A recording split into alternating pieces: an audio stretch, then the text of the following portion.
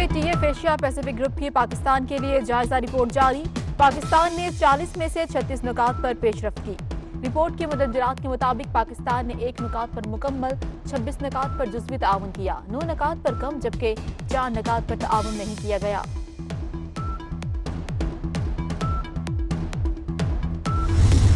آزادی مارچ روکنے کے لیے حکومت متحرک ڈاکٹر بابر ایوان سے وفاقی وزیر علی امین گنڈاپور کی ملاقات، مولانا فضل الرحمان کے خلاف قانونی چارہ جوئی پر اتفاق۔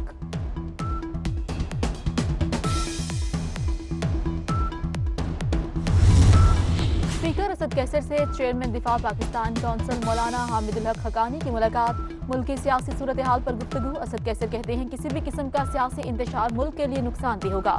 حکومت کا ساتھ دیں گے حامد الحق کا اعلان۔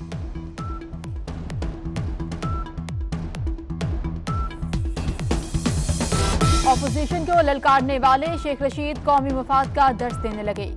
وزیر ریلوے کی اپوزیشن سے احتجاج پر نظر ثانی کی درخواست۔ کہا، سیاسی مفاد کے لیے ملک کو کسی بحران میں نہ دھکیلیں۔ میں نیب تاجر طبقے کی اپنے خلاف شکایات پر بول پڑے۔ کہا وزیر اعظم اور آرمی چیف سے شکایات مسترد کرتے ہیں۔ شکایت کرنے والوں نے نیب کو تعریفی خطوط لکھے تھے۔ ادارہ الزامات کی زد میں آئے گا تو سربراہ کی حیثیت سے خاموش بیٹھنا مشکل ہوگا۔ بینک ڈیفالٹ سے متعلق درخواست اب نیب نہیں لے گا۔ ٹیکس سے متعلق تمام ریفرنسز واپس لینے کا اعلان۔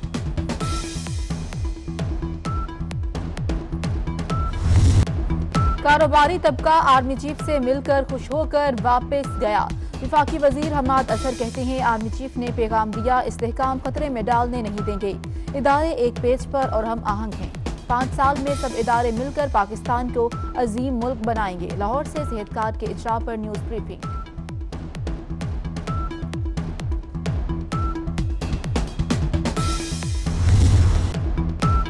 مولانا فضل الرحمان کو آزادی مارچ کے لیے ایک اور جماعت کی حمایت مل گئی۔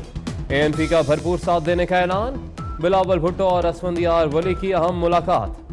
میاں افتخار حسین کہتے ہیں کہ ایسی حکمت عملی اپنائی جائے کہ ستائیس اکتوبر تمام جماعتوں کی تاریخ بن جائے۔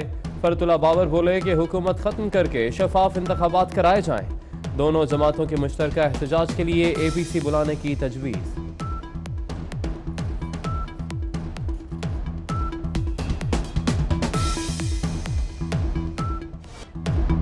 مولانا فضل الرحمان کی دھرنا مؤخر کرنے کی آفر۔ کہتے ہیں عمران خان مستعفی ہو جائیں تو دھرنا نہیں دیں گے۔ ستائیس اکتوبر کو ملک بھر سے قافلے اسلام آباد کا رخ کریں گے۔ پر امن طور پر ڈی چوک پر دھرنا ہوگا۔ آزادی مارچ حکومت کے خاتمے تک جاری رہے گا۔ پشاور میں خطاب۔